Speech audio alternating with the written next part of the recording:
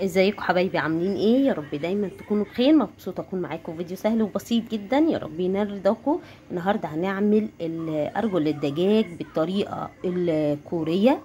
آه، يمكن ناس هتقول لا أنا مش بحبها لكن في ناس كتيره جدا زي حالاتي كده بيحبوها. فأنا بحب إن أنا أعمل آه، طرق جديدة آه، في الأكلات. فالنهاردة دي طبعا ال ال ال الأرجل بتاع الفراخ أو الدجاج هتجيبيها من عند الفرارجي هتقولي له مثلا في ناس بتبيعها بالكيلو في ناس بتحطها فوق الفراخ. أنا بصراحة آه لما بجيب فراخ بخليه يحط لي شوية حلوين كده فبجمعهم وبعملهم مرة واحدة.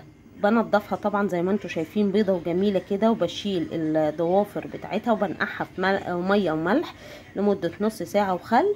وبعد كده ببتدي أجيب بقى دي خلطة كده أنا بعملها للمشويات. بجيب بقى بعد ما بعصرها وباخد المية بتاعتها ده بصل آه وطماطمايه وحطي بقى أنواع البهارات اللي عندك اللي انتي بتحبيها وملح وفلفل طبعا. ومعايا دول حوالي ثلاثة كده من الطماطم. كل دول آه هاخد ال ال البصل والطماطم هضربهم في الخلاط وهنحطهم مع الفراخ آه ارجل الفراخ دي يتسلقوا على البوتاجاز. كده أنا بعد ما ضربت المقادير كلها أو الخضار كله اللي إحنا هنحطه الطماطم مع البصل والتوابل هبتدي بقى كده. بصوا القوام كده كأني بعمل تسبيكة بيبقى تخين.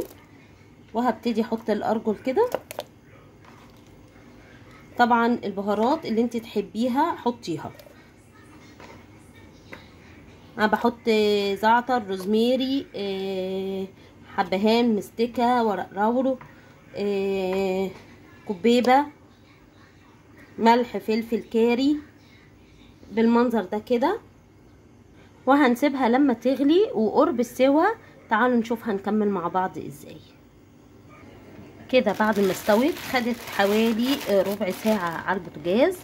وبعد كده ما تنسيش أهم حاجة تحط لها كمان معلقة من السكر. بصوا رشة كده بقى جميلة من السمسم بأمانة. إحنا سيبنا الفراخ وكلناها بجد تحفة. جربيها بالمنظر ده هتخليكي تحبيها طعمها روعة. مغذية فيها نسبة من الجيلاتين عالية جدا وفوائدها كتير. خشي كده على النت واكتبي فوائد ارجل الدجاج بجد تحفة. يا رب الوصفة تكون عجبتكم النهاردة وأشوفكم إن شاء الله على فيديوهات تانية كتيرة جديدة.